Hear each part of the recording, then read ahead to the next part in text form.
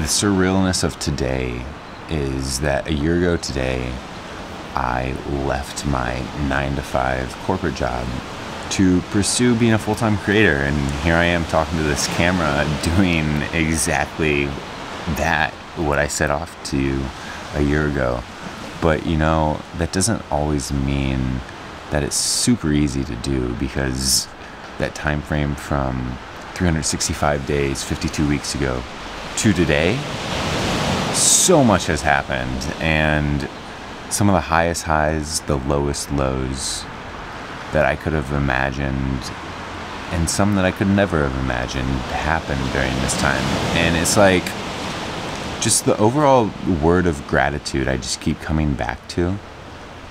Because without the community, without my people, without the support, I wouldn't have been able to continue on and be where I am today. And I know, like, the argument is no, you got to believe in yourself, and you do. But the argument of no, it's all about you.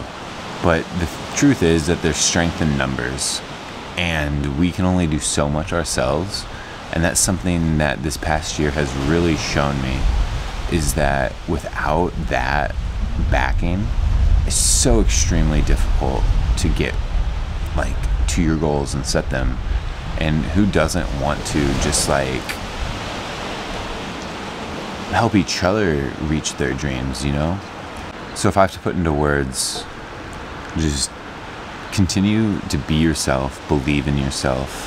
I really, man, there's just, I'm gonna probably just upload this raw because it's just my life thoughts and I'm just very emotional right now. And I know I'm not crying, but like emotionally inside, I'm just so overwhelmed with gratitude and fuck, man, it's unreal. And dreams are meant to come true. Just remember, with uncertainty brings opportunity, and without getting too like motivational or like preachy, is you can do it. And if you don't think you can, give yourself a time frame to do it. Just jump off, go, go for it, and life can surprise you sometimes.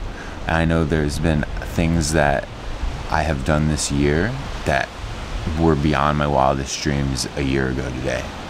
And three years ago, Luke, man, he would be so fucking happy and proud of of this Luke because it's literally everything I've imagined.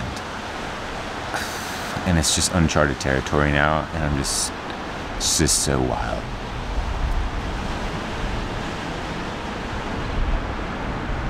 I love you guys.